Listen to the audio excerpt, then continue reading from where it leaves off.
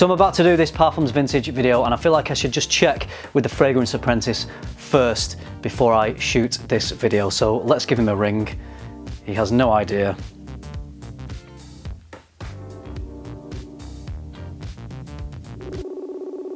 Oh, Hello, George.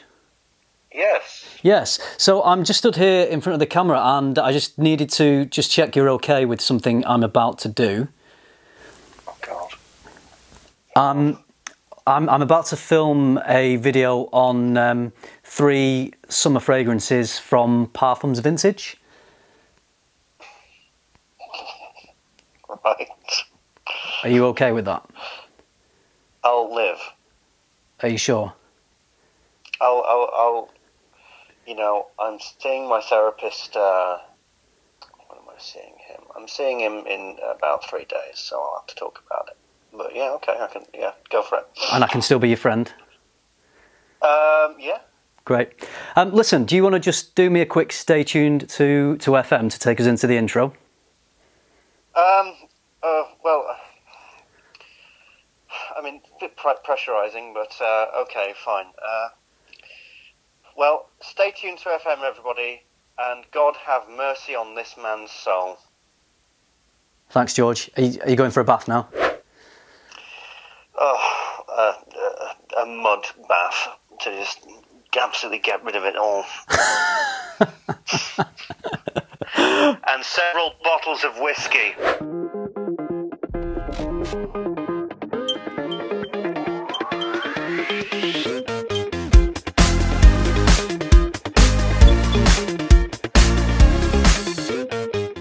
First of all, thank you for Parfums Vintage for very kindly sending me these fragrances. Just to let you know, this video is not sponsored by Parfums Vintage. All they've done is send me the bottles and you know what? They never ask for me to make a video. Not once have they ever asked for me to, to do a video and I don't always make videos about everything they send me but if I feel there's something that I've enjoyed and something that I want to recommend to you guys then here we are, I'll, I will make a video for you. Parfums Vintage are a house that do it all. They clone fragrances, they resurrect discontinued fragrances, they take fragrance DNAs and add their own unique twist on them, and they also add intensity to fragrances that may, well, lack intensity. That might mean that certain notes are amplified in order to give the scent profile a bit more of an intense character, or perhaps it's a stronger concentration which makes the fragrance more potent and gives it better performance. I'm going to talk to you about three summer offerings from Parfums Vintage that have all had the intensity treatment. So, let me take you through these fragrances and share my honest opinions. So the first one is Emperor Cologne Intense. Now Emperor is the line of fragrances from Parfums Vintage that they claim are the closest to actual Aventus. This one is based on Aventus Cologne and apparently it's a more intense version. So let's see if it is. Let's just start by showing you the bottle and the notes. So, as with Aventus Cologne, there's mandarin, pink pepper, ginger, sandalwood, patchouli, vetiver, tonka bean, birch, styrax and musk. Aventus Cologne is a fresher take on Aventus and Emperor Cologne Intense is definitely a very refreshing fragrance. Now, I did have a little bit of a performance issue with Aventus Cologne. I really enjoyed the scent. The opening was absolutely beautiful, but it just faded quite fast on me. I think other people had better luck with it, but personally for me, it didn't last very long. So when Parfums Vintage sent me this one, a more intense version, I thought, could this be what I need? Was it? Let's find out. In that beautiful opening, the mandarin mingles with pink pepper and ginger, which has a real zing. It really jumps off the skin. A great opening, just like Aventus Cologne. And as that dries down, it becomes more subtle and closer to the skin. So in the dry down, it becomes a more rounded, woodier type of scent. It's not projecting much at this stage though. You're gonna get okay projection for the first hour, maybe two, if you're lucky with your body chemistry. But then after that, it's just gonna be a light skin scent for maybe five, six hours. I found the intense label a little bit confusing on this because it didn't seem more intense to me than Aventus Cologne. It's very nice, but just not more intense than Aventus Cologne. So I actually find Aventus Cologne a bit more intense in terms of the smell because I get more of the birch in the opening. So it just has more depth and it has a little bit more punch to it. It has a little bit more intensity to it. I've tested these several times now side by side with Aventus Cologne and personally I find Aventus Cologne just has a bit more intensity to it. So that was funny. And also I thought, well, maybe it's stronger. Maybe it lasts longer. Maybe I can get better performance out of this one. And again, I found that this wasn't stronger than Aventus Cologne. It wasn't worse though. So it had a performance that was kind of on par with Aventus Cologne. So not shocking, but average. So forgetting for a moment that this is based on Aventus Cologne, it's a really nice summer scent that I've really enjoyed wearing. If you're looking for a bang on clone of Aventus Cologne, then I don't think this will really scratch that itch for you because I'd say it's about 60 to 70% in terms of how close it is to the original Aventus cologne. If you're looking for something similar, that is a little bit cheaper, then this might very well work for you. As I say, it's a very enjoyable scent. It's just not a bang-on clone of Aventus Cologne.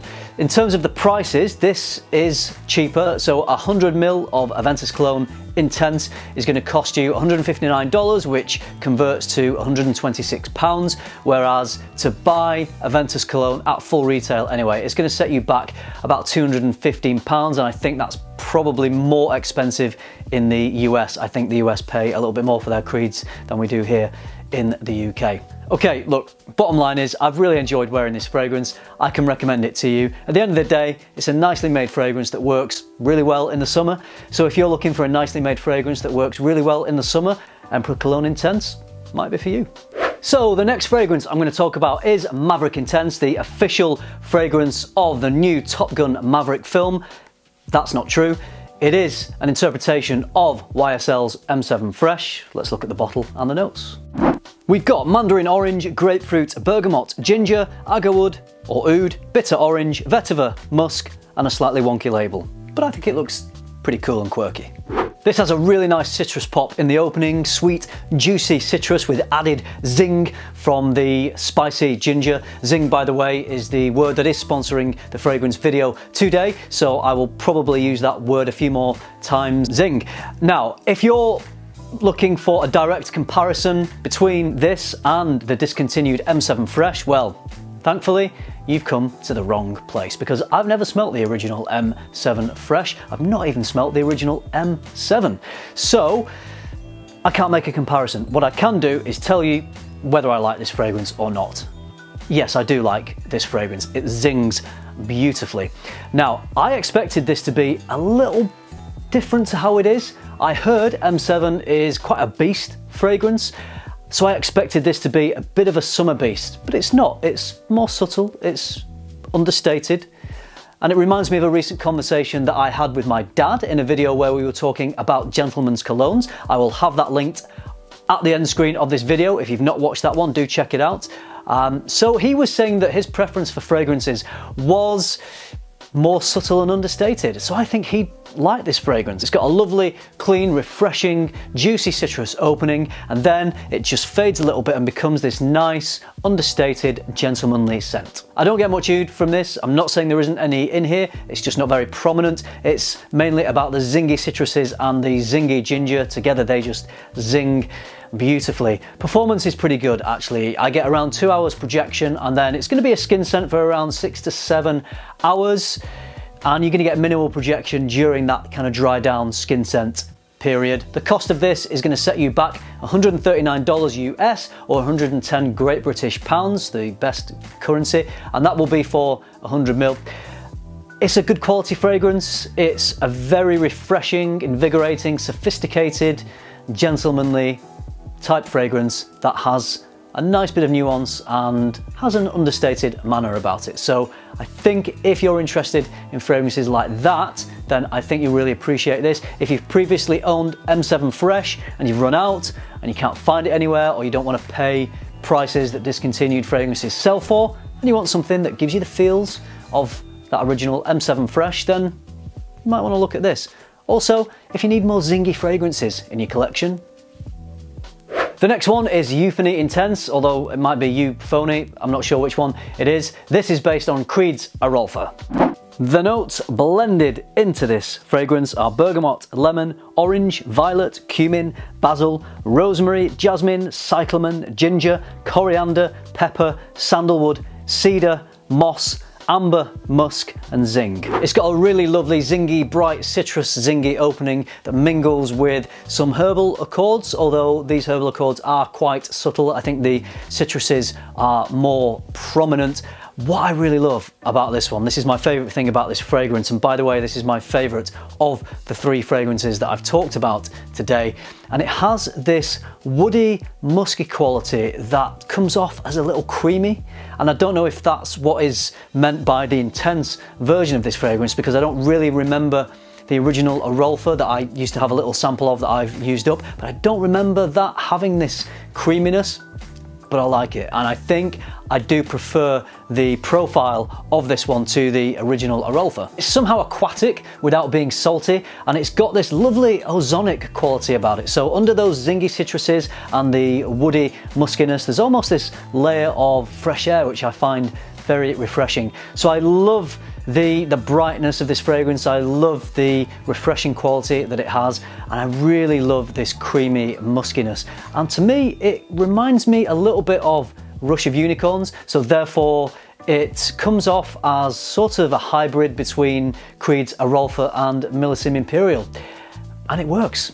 I really enjoy it. Performance is good on this one, the best of the three. So I get two to three hours of projection and then it'll be uh, a skin scent for around eight hours. The price of this is the same as the last one, so 139 US, 110 British pounds. If you like Erolfa, but you're interested in a slightly different take on that DNA, and in my opinion, it adds a little bit of extra dimension to the Erolfa DNA, which, as I've said, I really like. If you think you like the sound of that, maybe give this one a try. So there we are, three great summer options from Parfums Vintage. Let me know if you've tried any of them. I hope you enjoyed it. I hope you found it useful. Thank you so much for watching. Remember, keep tuning into FM, keep smelling good, and I'll see you in the next video. Zing, zing, zing, zing, zing.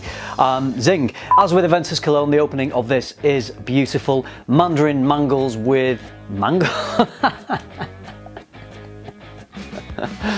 oh. oh. Mrs. Mangle, remember her from Neighbours? In the opening, man, in the opening, Mandarin mangles with. Got Mrs. Mangle on the brain now. What's going on? As it starts to dry down, then I've forgotten.